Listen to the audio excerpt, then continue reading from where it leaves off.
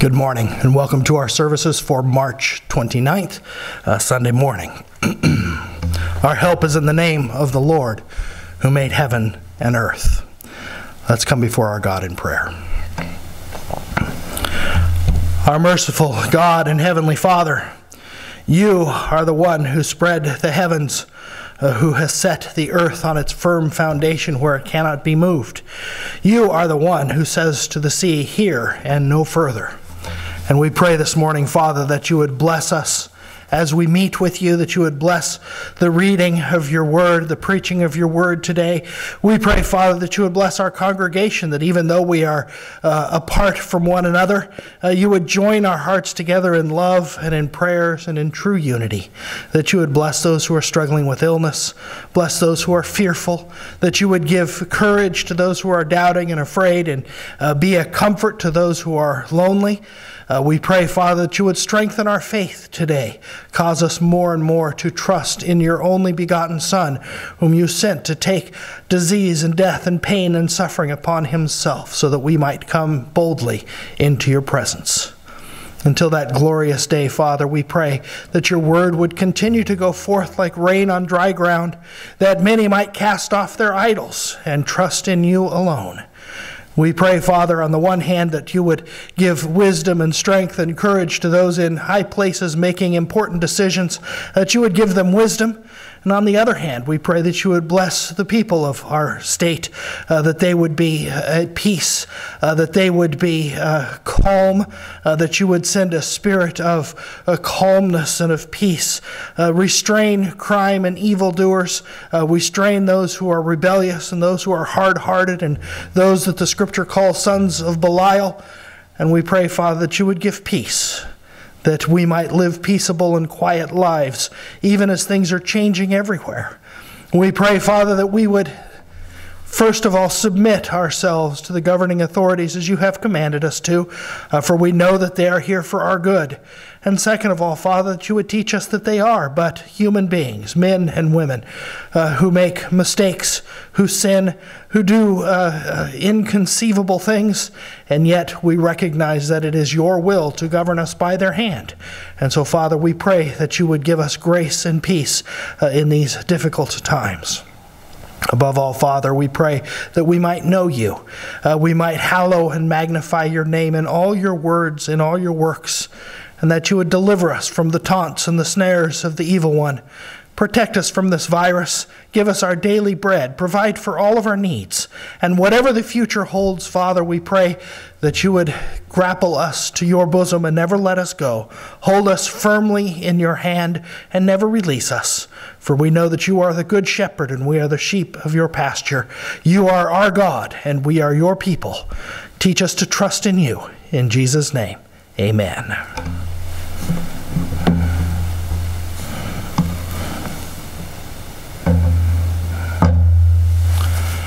Uh, my scripture reading this morning is Revelation chapter 5. Revelation chapter 5 takes place uh, after John's vision of the throne room. In chapter 4, he sees the creator of heaven and earth high and lifted up on his throne, surrounded by the angels, reigning over all things. Uh, and then he is given this vision in chapter 5. Let's give attention to the reading of God's word. And I saw in the right hand of him that sat on the throne a book, written within and on the backside, sealed with seven seals. And I saw a strong angel proclaiming with a loud voice, Who is worthy to open the book and to loose the seals thereof? And no man in heaven, nor in earth, neither under the earth, was able to open the book, neither to look thereon. And I wept much because no man was found worthy to open and to read the book, neither to look thereon. And one of the elders said unto me, Weep not. Behold, the lion of the tribe of Judah, the root of David, hath prevailed to open the book and to loose the seven seals thereof. And I beheld, and lo, in the midst of the throne, and on the four beasts, and in the midst of the elders, stood a lamb as it had been slain, having seven horns and seven eyes, which are the seven spirits of God sent forth into all the earth. And he came and took the book out of the right hand of him that sat upon the throne. And when he had taken the book, the four beasts and four and twenty elders fell down before the Lamb, having every one of them harps and golden vials full of odors, which are the prayers of the saints. And they sung a new song, saying, Thou art worthy to take the book and to open the seals thereof, for thou wast slain and hast redeemed us to God by the blood out of every kindred and tongue and people and nation, and hast made us unto our God kings and priests, and we shall reign on the earth. And I beheld and heard the voice of many angels round about the throne, and the beasts and the elders, and the number of them was ten thousand times ten thousand, and thousands and thousands, saying with a loud voice, Worthy is the Lamb that was slain, to receive power and riches and wisdom and strength and honor and glory and blessing. And every creature which is in heaven and on the earth and under the earth, and such as in the sea, and all that are in them, heard I saying, Blessing and honor and glory and power be unto him that sitteth upon the throne, and unto the Lamb forever and ever. And the four beasts said, Amen. And the four and twenty elders fell down and worshipped him that liveth forever and ever.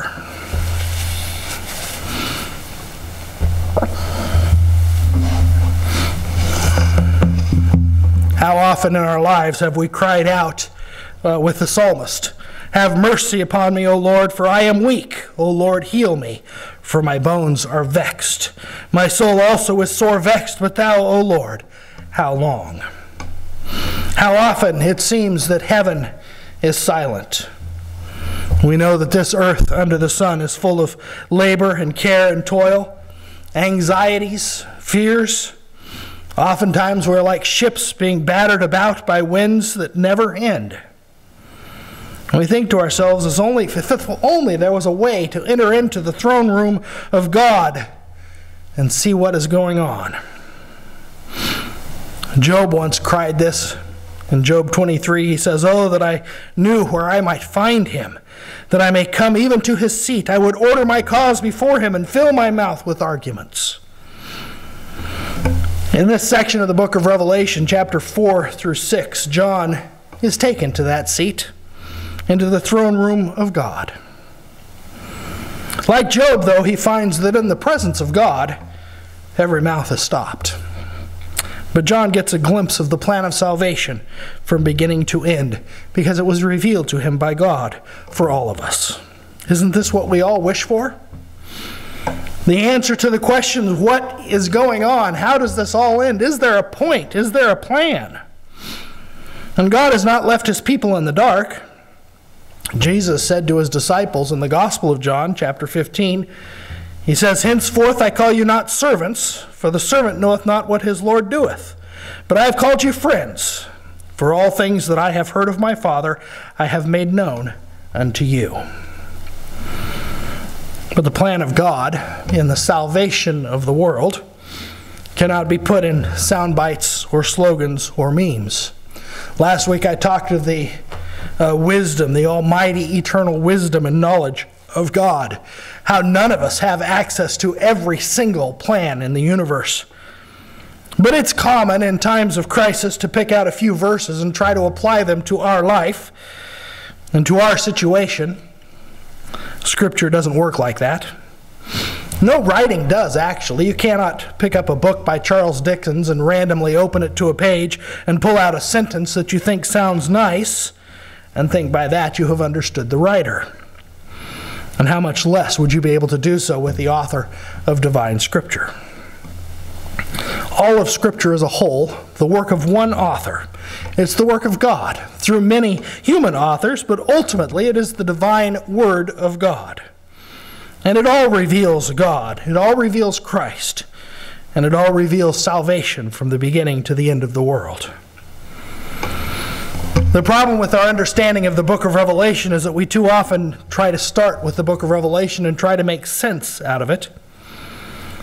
But Revelation is a culmination of centuries of images, poetry, songs, sights, and sounds from all previous revelation given to us in the Old Testament and in the Gospels.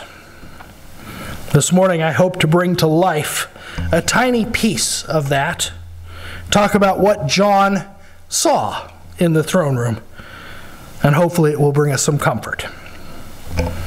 After his description of the throne room, in chapter 4, which I will discuss at another time, uh, John gets to the heart of the vision. We see in chapter 4 that the one on the throne, the one ruling over all things forever and ever and ever, who does all his good pleasure, uh, who works in all the kingdoms of this world and is overall King of kings and Lord of lords, we see him in chapter 5 holding a book in his hands. That book, of course, would be a scroll. The scroll would be rolled up and then sealed on the edge uh, to show that it was authentic. This particular book has seven seals holding it closed. It can't be read until those seven seals are broken. Seven is a prominent number in Scripture. God created the world in six days, Moses tells us, and rested the seventh day. We can read about that rest in chapter 2 of Genesis. And man was created to enter into that rest, to dwell with God. But, of course, man failed and was cast out of God's presence. Since then, our longing, our be, our everything that we have longs and cries out for a return to Eden. All that we long for as human beings can be summed up as we long to be in the presence of God. And the number seven is used throughout Scripture to refer to that rest in the dwelling place of God. Everything that's involved in being in God's presence, where God is, that rest that Moses spoke of in Genesis 2. A good example of that use of sevens is found in the conquest of Jericho. That's the first city of the Canaanites to be destroyed. The Canaanites had to be driven out of the land before Israel could enjoy their rest in the land. The land of Canaan was a picture of the new heavens and the new earth, as we see in Psalm 95. And in the conquest, we see the nation of Israel marching around Jericho for six days. Then on the seventh day, they marched around it seven times. And on the seventh time of the seventh day, the walls fell flat and Israel entered into that rest. That rest was called God's rest. Later, the picture would be given more fully as Mount Zion, where the temple of God and the throne of David were together. A picture of God's presence and God's rule to teach us that the place of God's rest, his dwelling place, is the place where he reigns over all things. The whole world is under his authority, his might, his power, his dominion. That's what John sees in chapter 4 of Revelation. But the conquest of Canaan was just a picture. The fact is, mankind has not entered into that eternal rest yet. Mankind has not entered into the Sabbath rest yet. As the writer of Hebrews says, there remains yet a rest for the people of God. And he also says if Joshua had given them rest, he afterwards would not have spoken of another day. And the reason that mankind has not entered into that rest is because of sin unbelief, rebellion, refusal to bend the knee. As Psalm 95 says, I swore in my wrath, they shall not enter my rest. So we know as the church of God, we are headed for the rest that God has provided for his people. We know that sin will be taken away. We know that we will be cleansed. And we know that we were created to dwell in Mount Zion, Zion in God's presence forever. The question is, how do we get there from here? That's what's written on this scroll. What's written on the scroll is God's plan of salvation in all of history. It's, it's, it's, uh, it covers everything. The scroll is written on every single bit of it, front and back. It covers all of history. Why is the word scroll used? That word is a figure used several times in Scripture. For example, in Ezekiel chapter 2, Ezekiel says that he looked, and behold, a hand was sent unto me, and lo, a roll of a book was therein, a scroll. And he spread it out before me, and it was written, wit, written within and without, and there was written therein lamentations and mourning and woe. In that scroll that Ezekiel sees, it's covered with the events of all the nations, everything that's coming, the destruction and the movement of kingdoms, everything that's about God's plan and God's decree that was about to take place. But out of those lamentations and woe came the salvation of the remnant of God's people. And so Ezekiel describes the taste of it as being sweet. In the book of Daniel, Daniel sees a vision of all the coming kingdoms. And he sees the one kingdom ruling over all kings forever and ever. And at the end of that book of visions, in chapter 12, he writes, And I heard, but I understood not. Then I said, O my Lord, what shall the end of these things be? And he said, Go thy way, Daniel, for the words are closed up and sealed till the time of the end. So there we have the key to unlocking why John sees a scroll. This scroll is God's decree the cleansing of the world, the renewing of all things, the coming kingdom of our Lord Jesus Christ. Everything that leads us to that day, from the movement of kings to the flapping of a butterfly's wing to nations, everything. And that decree is far, far more than simply going to heaven when we die. Because eventually it involves the restoration of all things, as we shall see. It involves the great vision that John sees at the end of the book of Revelation, where all things are made new, where every tear is wiped away, and hell and death and the devil and his angels are cast into the lake of fire forever.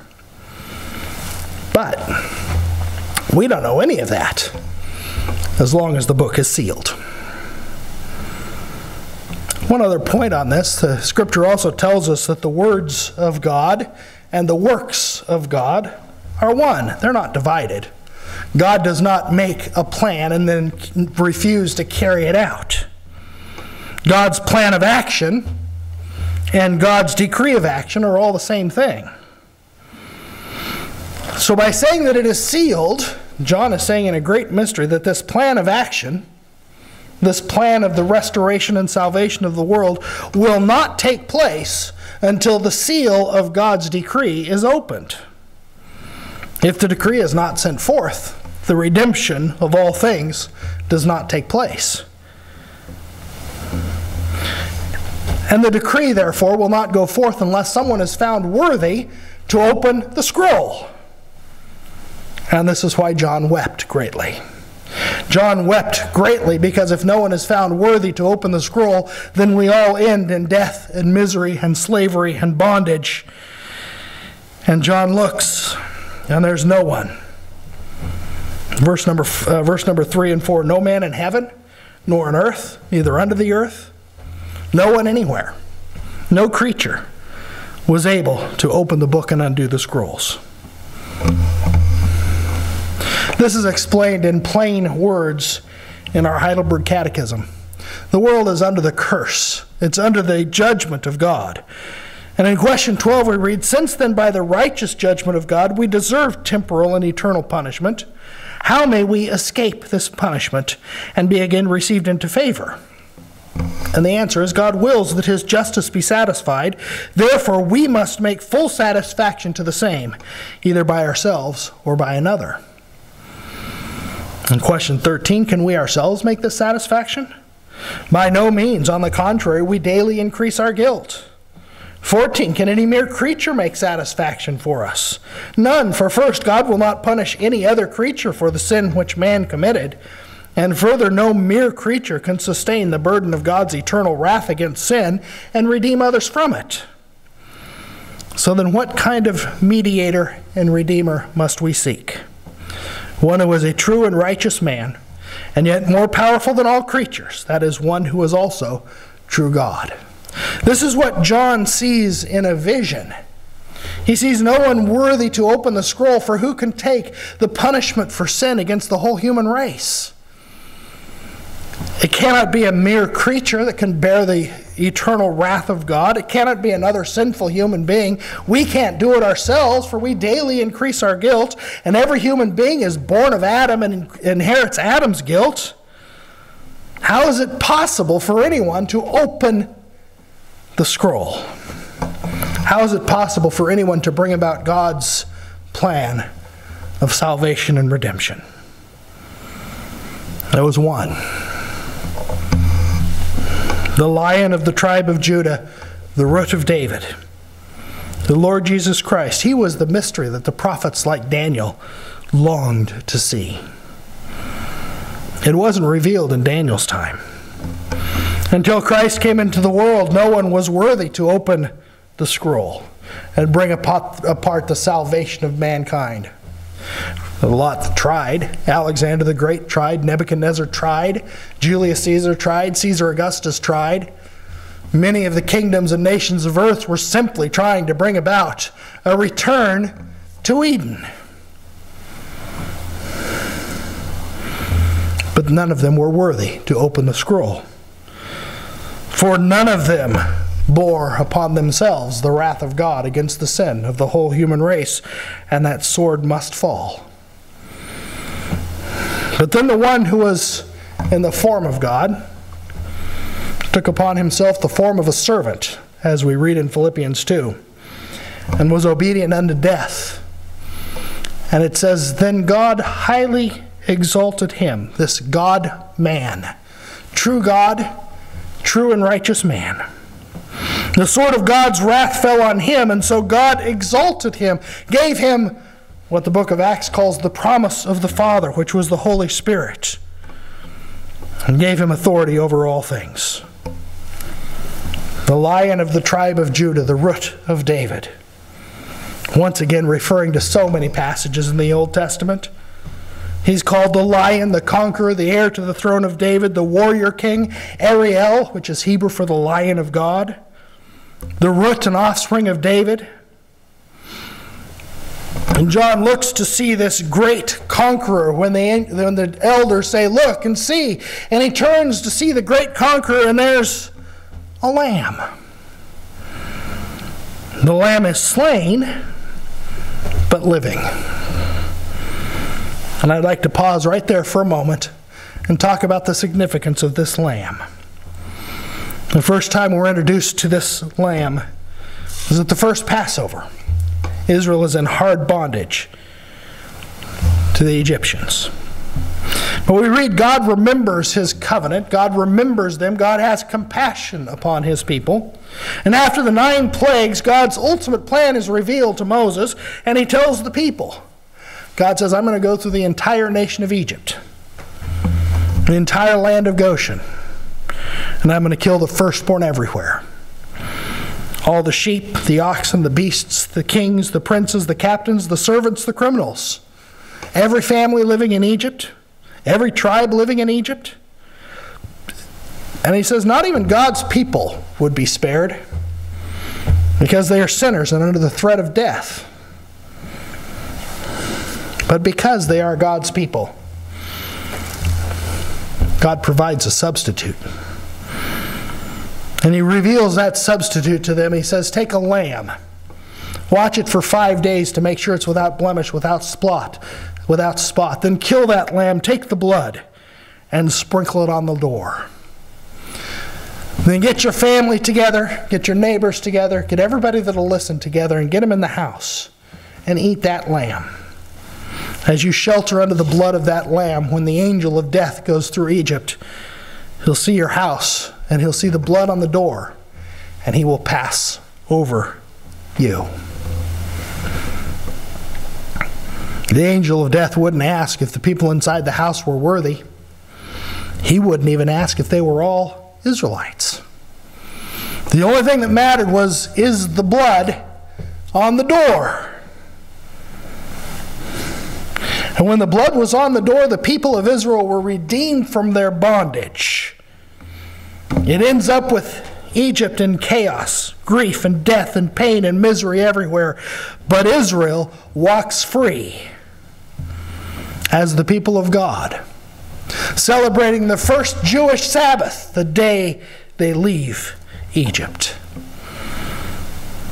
Kings and priests, holy unto God, when they stand at the foot of Mount Sinai, God says to them, Ye have seen what I did unto the Egyptians and how I bore you on eagle's wings and brought you to myself. Now, therefore, if you will obey my voice indeed and keep my covenant, then ye shall be a peculiar treasure unto me above all people, for all the earth is mine. And ye shall be unto me a kingdom of priests and a holy nation.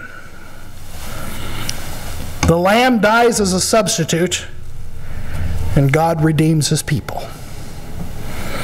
Now, this redemption of his people also involved the drowning of the Egyptians. As Moses sang, I will sing unto the Lord, for he hath triumphed gloriously. The horse and his rider he has thrown into the sea. That, of course, was only a picture of the true battle. The true battle is far, far greater. The kingdom of the devil must be overthrown, as I've said many times from this pulpit. This battle at the Red Sea was only a glimpse of the true battle, and the Lamb was not sufficient. For Israel didn't keep the covenant. They disobeyed the covenant over and over again. They didn't enter into the rest because of unbelief. Eventually, their sins became so great that they were vomited out of the land. And the fact is, we need a greater lamb. We need a greater covenant keeper. We need one to obey in our place and inherit the land for us. We need a righteousness that's not our own. In other words, we need a lamb that's worthy to open the seals. And this is who the Lord Jesus Christ is, the Lamb of God, slain from the foundation of the world. He was obedient unto death in our place. He paid the penalty for sin in our place and therefore he alone is found worthy to open the scrolls. In other words, to bring about God's redemptive plan of salvation for the whole world. As he told his disciples before he ascended into heaven, all power is given to me in heaven and in earth. Go ye therefore and make disciples. As the church of God, we rest under the covering of his blood like Israel, redeemed from bondage by the Passover lamb. So the church of God is redeemed from the bondage of sin and misery by the blood of the Lamb of God. Today is Lord's Day 13 in our Heidelberg Catechism readings. Our catechism on this day reads, question 34, Why callest thou him our Lord? And the answer is because not with gold or silver, but with his precious blood he has redeemed and purchased us body and soul from sin and all the power of the devil to be his own. We belong to him, body and soul, in life and in death, for he has purchased us in order to redeem us. He is the Lamb that has redeemed us and made us kings and priests. Read again the song in verse number 9 of Revelation 5. And they sung a new song, saying, Thou art worthy to take the book and to open the seals thereof, for thou wast slain, and hast redeemed us to God by thy blood out of every kindred and tongue and people and nation, and hath made us unto our God kings and priests, and we shall reign on the earth.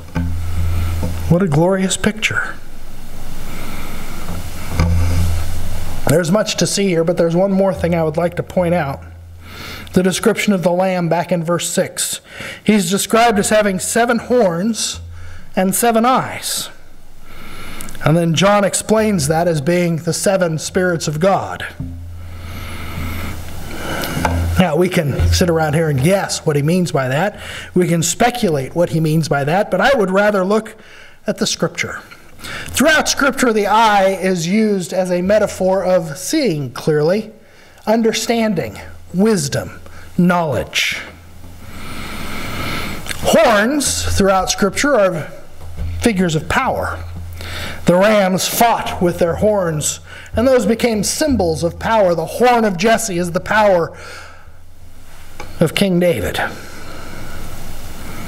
So the question is Does the Scripture have anything to say about this lamb, who is the root of David, the lion of Judah, and his anointing with the Holy Spirit that can give some insight to what these eyes and these horns are. So, the first passage I would like to direct you to is Isaiah chapter 11. Listen closely to Isaiah chapter 11. There shall come forth a rod from the stem of Jesse, and a branch shall grow out of his roots. The Spirit of the Lord shall rest upon him the Spirit of wisdom and understanding, the Spirit of counsel and might, the Spirit of knowledge and the fear of the Lord. There's the seven eyes perfect wisdom and understanding, counsel, might, knowledge. It says the Spirit of the Lord, the Spirit of wisdom, the Spirit of understanding, the Spirit of counsel, the Spirit of might, the Spirit of knowledge, and of the fear of the Lord. This Lamb has perfect wisdom and perfect knowledge, for this Lamb is Jehovah Himself. And here, in, the only one that can have that description, the branch arising out of Jesse, the branch coming from King David, is also true and eternal God, with all the attributes of God. The Spirit of the Lord, the Spirit of wisdom and understanding, of counsel and might, of knowledge and the fear of the Lord.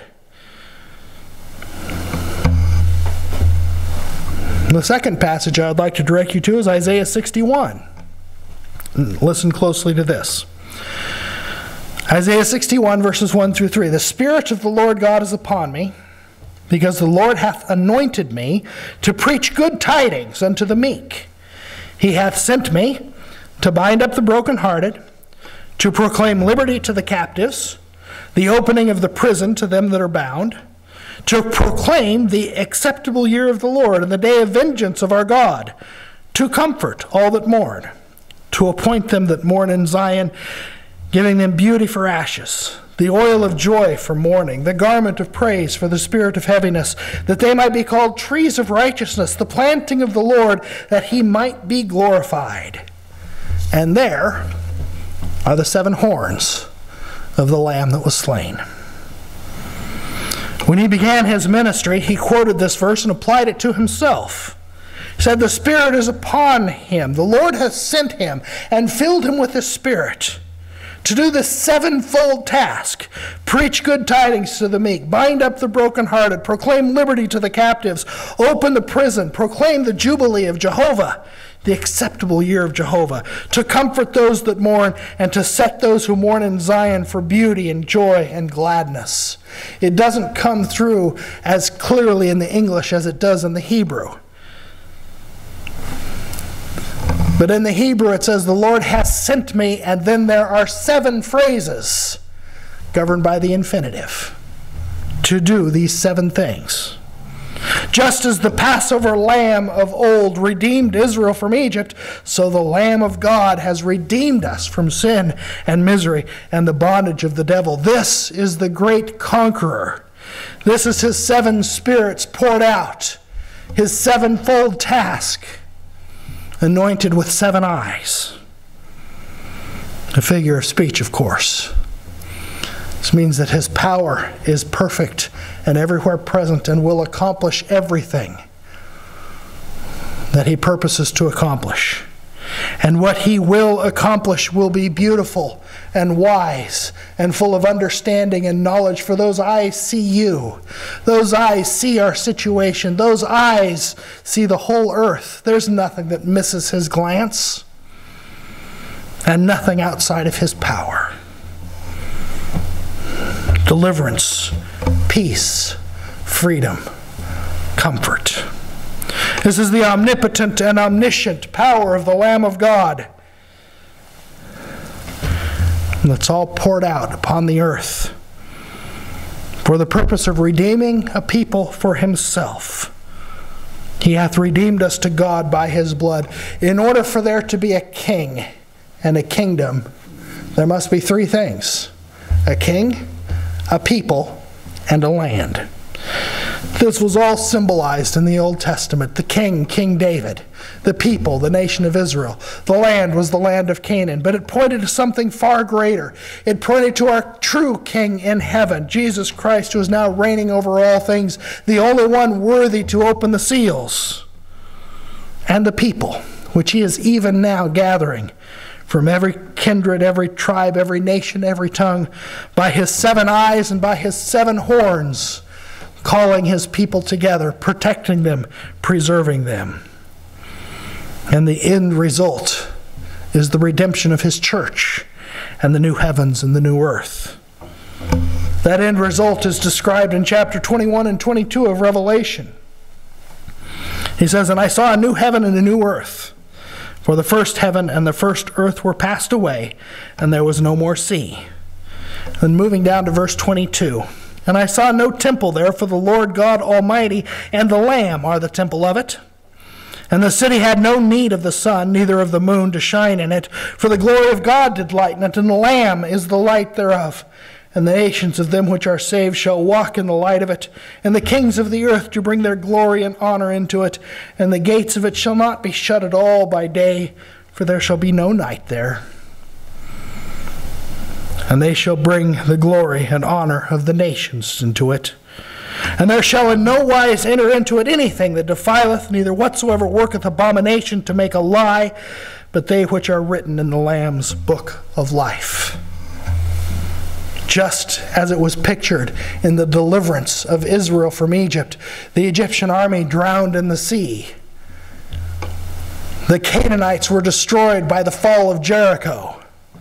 And then Israel entered into rest, which is a picture of our great, wise, omnipotent, holy King destroying all that defiles, cleansing all that is defiled and part of the curse and preserving and gathering and defending a people for himself at the same time.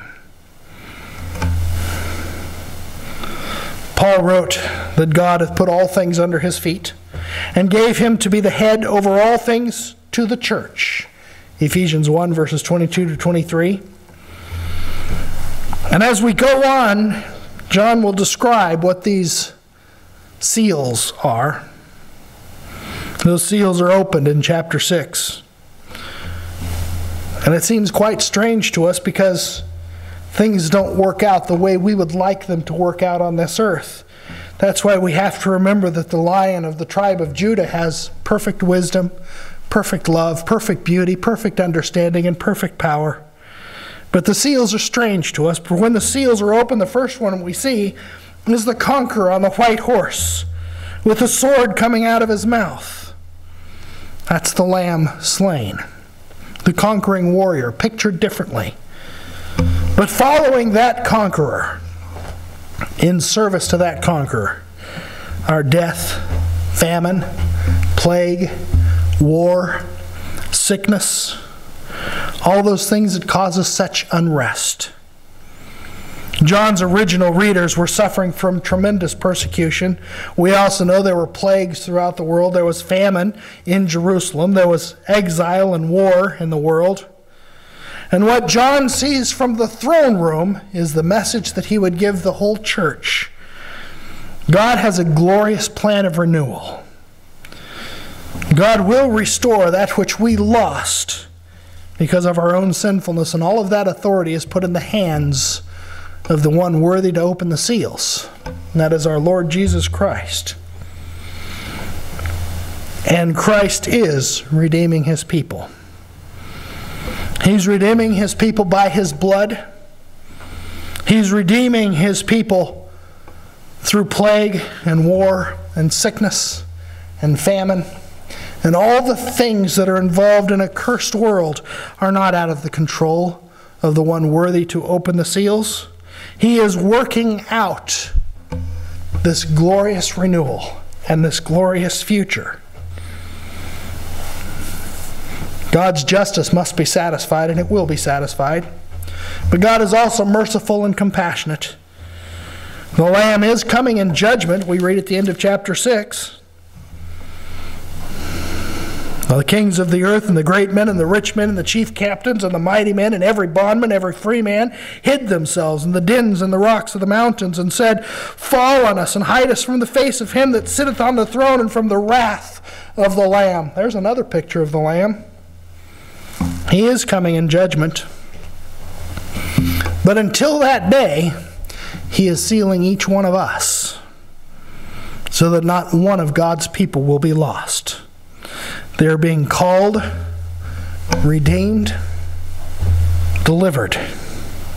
And he calls to each one of you and says, Come unto me and rest. The first time in this world, he comes to release the prisoners. His seven spirits are bringing comfort to those who mourn, comfort to those who are oppressed, deliverance for the captives. And he's saying, Come to me and rest. For those seven eyes and the seven horns are still gathering, defending, and preserving a chosen communion. A chosen communion. That's what we know. And we also know that death, fire, war, famine, plague, tribulation, all of those things eventually work together for the salvation of God's people and the judgment of the world. And that is good. And for that we can rejoice, even in the midst of our tears and our uncertainty. Christ will come. This present age will pass away. Pharaoh and his armies and the curse, of the devil and his angels will be cast into the lake of fire forever and ever. And not one of Christ's sheep will perish. Until that time, the Holy Spirit is still proceeding from the Father and the Son, preaching good tidings to the meek, binding up the brokenhearted, and proclaiming liberty to the captives, and so on. And when we say, What is going on in the world? That's what's going on. What's going on in the world? Here's what's going on. Christ is preaching good tidings to the meek. He's proclaiming liberty to the captives. He's opening the doors of your prison. He's proclaiming the acceptable year of the Lord. Now you are acceptable to God if only you will come to Christ and put the blood on your door. He's comforting all those who mourn. And He's taking away your ashes. And He's giving you beauty. What's going on in the world? That's what's going on in the world. Let us pray. Our gracious God and merciful Heavenly Father, teach us, even in the midst of our tears and our loneliness and our pain and our isolation, to look to you and rejoice, for the day will come when the trumpet will sound, the dead will be raised, and we will be gathered around your throne forever and ever, where there will be no more curse. Father, sometimes that is difficult to see, so we pray that you would fill us with your Spirit, that you would give us love and joy and peace and long suffering and patience as we wait for you, knowing that you are good.